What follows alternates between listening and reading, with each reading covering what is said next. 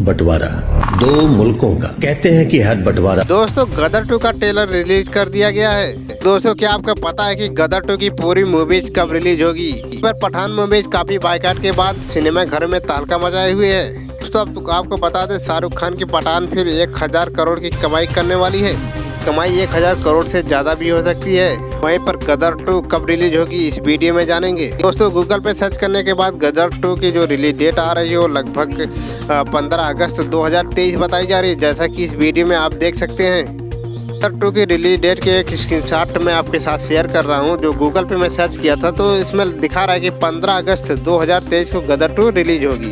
दोस्तों, आपको क्या लगता है कि Gadar two movies Pathaan movie से काफ़ी हिट जाएगी या पठान मूवी से काफ़ी पीछे ही रह जाएगी? तो हमें कमेंट में ज़रूर बताएँ। मुझे तो लगता है कि गदर टू फ़िल्म जो है, वो पठान मूवी से काफ़ी ऊपर जा सकती है। पठान मूवी काफ़ी बाकायद के बाद शानदार प्रदर्शन करते हुए नज़र आ रहे हैं सिनेमा घरों में।